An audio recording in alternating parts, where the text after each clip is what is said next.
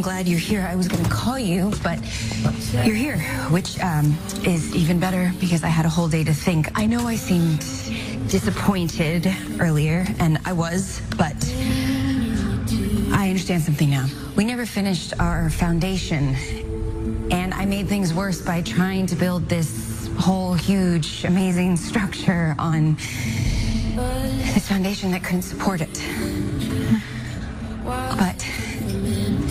I want to fix it.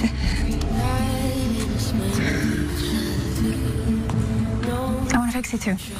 I know you're trying and you have been trying. I, I haven't been clear with you.